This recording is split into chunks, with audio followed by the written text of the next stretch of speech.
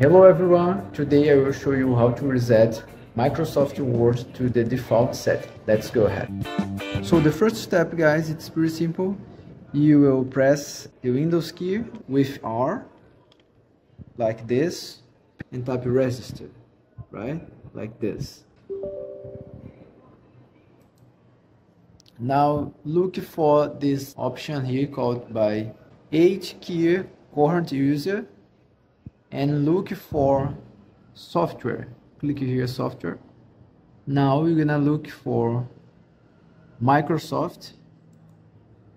And then look for Office.